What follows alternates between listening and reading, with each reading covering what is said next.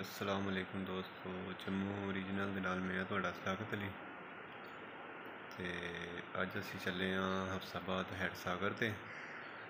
ਤੇ ਚਲੋ ਹੁਣ ਉੱਥੇ ਜਾ ਕੇ ਮਿਲਨੇ ਤੁਹਾਨੂੰ।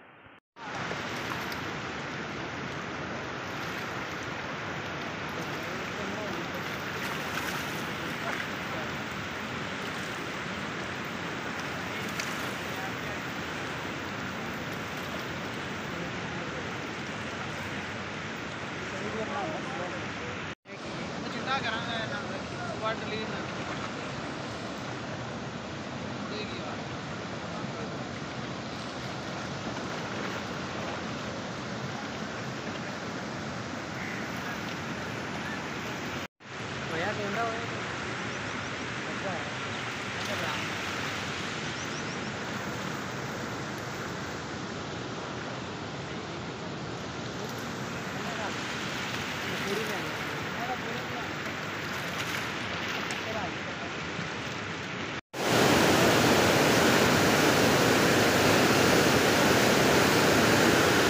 senhora.